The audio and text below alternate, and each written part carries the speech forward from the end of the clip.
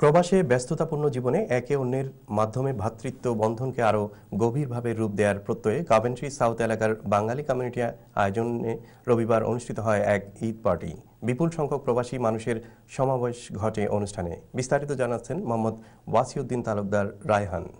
এই রং আর পেন্সিলের আঁকা ছবির মতোই ঈদের আনন্দকে আরও রঙিন করে তুলতে কভেন্ট্রি সাউথ বাঙালি কমিউনিটির প্রবাসীরা আয়োজন করেন এক ঈদ পার্টির।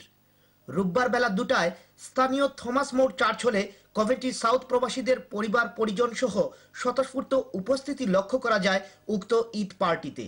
শিশু কিশোরদের ঈদের বিনোদনকে প্রাণবন্ত করে তুলতে আয়োজকদের পক্ষ থেকে রাখা হয় চিত্রাঙ্কন প্রতিযোগিতা আর বাউন্সি কাসল মধ্যাহ্নভোজের পূর্বে আগত সবাইকে আয়োজকদের পক্ষ থেকে শুভেচ্ছা জানান শাহজাহান সিরাজ, ইয়াওর বক্স, আব্দুল জব্বার, বাদশাহ মিয়া সহ আরও অনেকে। অনুষ্ঠানের শেষের দিকে চিত্রাঙ্কনে অংশ নেওয়া শিশু কিশোরদের মাঝে পুরস্কার প্রদান করা হয়।